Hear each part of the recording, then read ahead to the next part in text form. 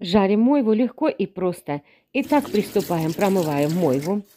В пакет кладем соль, специи для рыбы, паприка и 3 ложки муки. Хорошенько в пакете все перемешали. И в этот же пакет кладем мойву. Также закрываем пакет и все хорошенечко перемешали. И теперь мойву одеваем мы на шпажку. Плотненько друг к другу прижимаем. Все, готовим сковороду. Наливаем масло, не жалеем, и обжариваем мойву с двух сторон.